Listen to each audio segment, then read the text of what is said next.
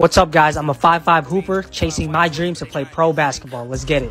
Day two is a lower body day. I'm really trying to increase my vertical and my overall athleticism. I start off with plyos and then move on to weight. Once I got on the court, I just warmed up with a couple two ball ball handling drills just to increase my control of the ball. Then I worked on some finishing moves that I would use in a game. Comment which NBA player used that move. Finish off with some lefty free throws. Make sure you guys follow for day two. We're just getting started.